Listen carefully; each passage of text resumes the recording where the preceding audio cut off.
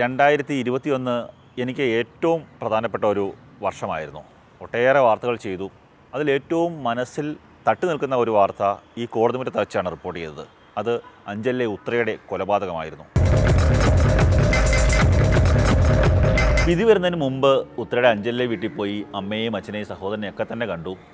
ആ സമയത്ത് ഉത്രയുടെ അമ്മ പറഞ്ഞത് നിറകണ്ണുകളോട് പറഞ്ഞത് തന്റെ കുഞ്ഞിനെ കൊന്ന സൂരജിന് പരമാവധി ശിക്ഷ ലഭിക്കണമെന്നായിരുന്നു.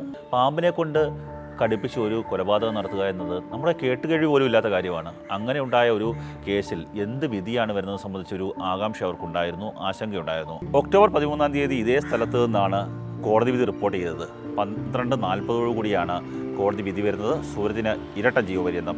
അതേ സമയത്ത് തന്നെ ഉത്തരയുടെ അമ്മയുടെ പ്രതികരണം വന്നു. അമ്മ പറയുന്നു തന്റെ മകളെ കൊന്ന ആൾക്ക് വധശിക്ഷ നൽകണമായിരുന്നു എന്ന് പറയുന്നു. പാമ്പുടുത്തക്കര സുരേഷിനെ കാണാനിടയായി. അപ്പോഴും അയാളും പറയുന്നത് ആ ഉത്തരയുടെ അച്ഛന്റെയും അമ്മയുടെയും കാൽ പിടിച്ച് മാപ്പ് വരണം കാരണം തൻ ആ മകളെ കൊല്ലാനുള്ള ഉപകരണമായ പാമ്പിനെ നൽകാൻ നിയോഗിക്കപ്പെട്ടവനായിപ്പോയല്ലോ. താൻ അങ്ങനെ ഒരു നിർഭാഗ്യവാനായല്ലോ താനെന്ന് പറയുകയുണ്ടായി. ഈ വിധിയുടെയും റിപ്പോർട്ടിങ്ങിന്റെയും ഒക്കെ ശേഷം എനിക്ക് ആലോചിച്ചപ്പോൾ തോന്നിയത് സൂര്യന് കിട്ടാവുന്ന പരമാവധി ശിക്ഷയാണ് ഇരട്ട ജീവപര്യന്തം. കാരണം ചെയ്ത തെറ്റിന്റെ പാപവും പേറി ജീവിതകാലം മൊത്തം ആ കൊലയാളി ജയിലിൽ കിടക്കുമല്ലോ.